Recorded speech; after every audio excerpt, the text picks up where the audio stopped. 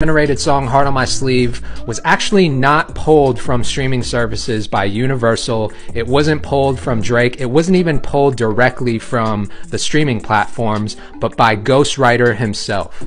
Now, why would he do this? Apparently, he's facing a lot of legal pressure um, from potential lawsuits, and bro just doesn't want to get sued, so he pulled the song himself from streaming platforms. But this is the interesting part. So I asked attorneys that are very close to me straight up, is this illegal? And what they said is that it's not illegal to use AI on your song. However, it is illegal to use someone's likeness and try to impersonate them.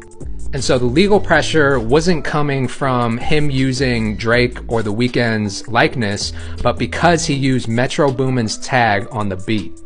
Therefore, he was using his likeness and basically his trademark on the song.